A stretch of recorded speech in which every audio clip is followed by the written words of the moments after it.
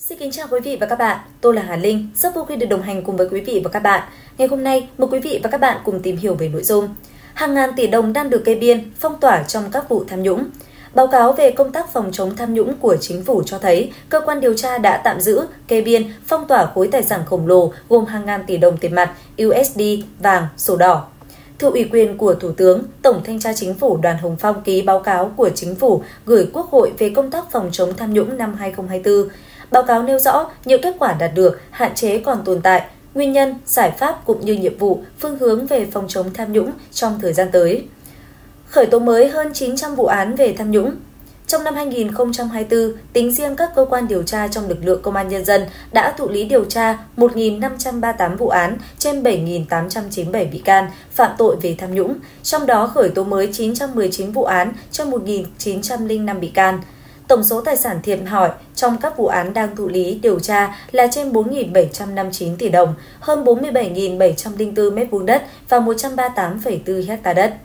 cơ quan điều tra đã thu hồi trên 684 tỷ đồng, 16.695 m2 đất và 967,4 ha đất tạm giữ, kê biên, phong tỏa, ngăn chặn giao dịch trên 1.184,8 tỷ đồng và nhiều bất động sản, tài sản có giá trị khác. Riêng vụ án xảy ra tại công ty cổ phần tập đoàn Phúc Sơn đã kê biên thu giữ 315,75 tỷ đồng, 1,97 triệu USD, 534 cây vàng SCC, 1.444 giấy chứng nhận quyền sử dụng đất các loại. 97 miếng kim loại màu vàng, 695.344 USD, 1,97 triệu USD, 534 cây vàng SCC, 1.448 giấy chứng nhận quyền sử dụng đất các loại, 65 xe mô tô, ô tô các loại, 14.238 m2 đất và nhiều sổ tiết kiệm, tổng trị giá khoảng 1.117 tỷ đồng.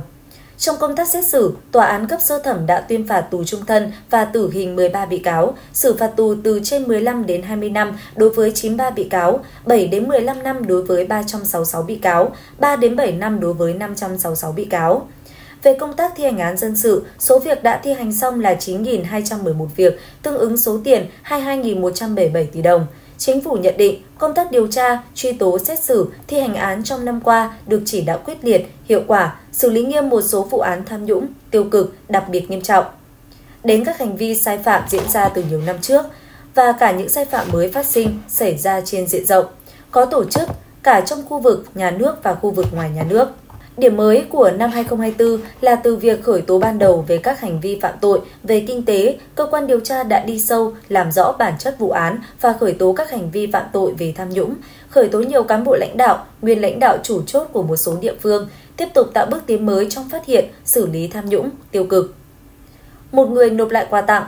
Báo cáo của chính phủ cũng cho thấy năm 2024, việc xử lý trách nhiệm người đứng đầu để xảy ra tham nhũng, tiêu cực, vi phạm trách nhiệm nêu gương và những điều đảng viên, cán bộ, công chức không được làm tiếp tục được thực hiện nghiêm với nguyên tắc kiên quyết, kiên trì, không ngừng, không nghỉ, không có vùng cấm, không có ngoại lệ, bất kể người đó là ai đã có 52 người đứng đầu, cấp phó người đứng đầu bị xử lý kỷ luật do thiếu trách nhiệm để xảy ra hành vi tham nhũng. Trong đó, 19 người bị khiển trách, 17 người bị cảnh cáo, 16 người bị cách chức.